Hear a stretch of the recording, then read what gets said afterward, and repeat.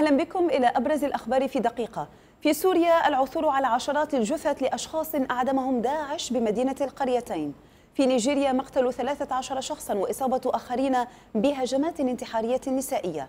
في إيران خلافات بين حسن روحاني والحرس الثوري الإيراني الذي يعد السبب الأول في التدهور الاقتصادي. المغرب يرسل مساعدات طبية إلى مدغشقر لمواجهة الطاعون تشمل 34 طنا من الأدوية والأجهزة الطبية ومعدات الوقاية وفقا لمعايير منظمة الصحة العالمية.